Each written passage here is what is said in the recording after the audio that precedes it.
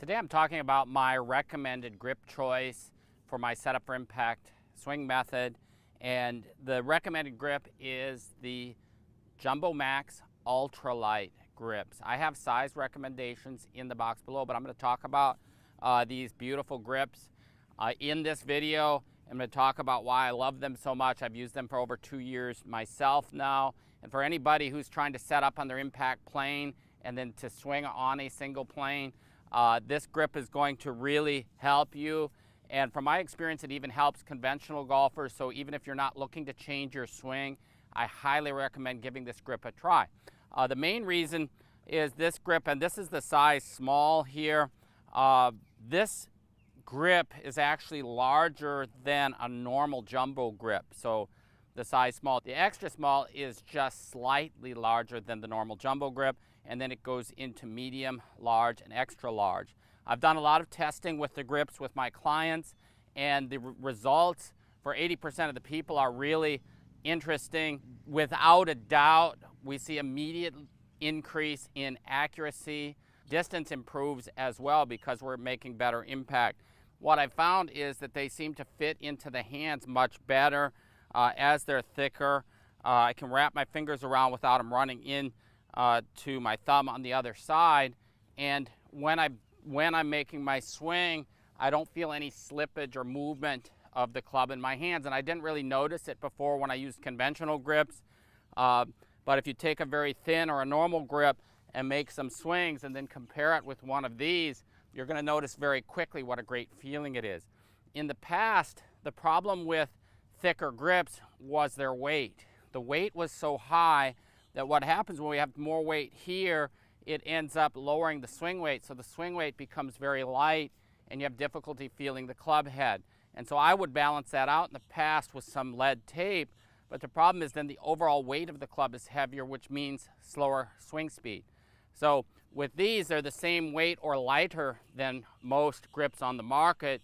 So I have the grips on all my clubs, including the wedges. I have a JumboMax putter grip for my Armlock SIK putter, uh, which I really like. I have the round part though turned towards the hole as I find it fits better in the leading hand. And uh, irons, driver, doesn't matter. I found the biggest benefit really with the driver, and there I was reluctant in the beginning to even give it a try. What I found is there's no manipulation necessary for squaring up the golf club because we're orienting our hands to fit every individual golfer. We don't want any movement there through impact. And so with the grip, the way it fits, it's kind of like the handle of a hammer.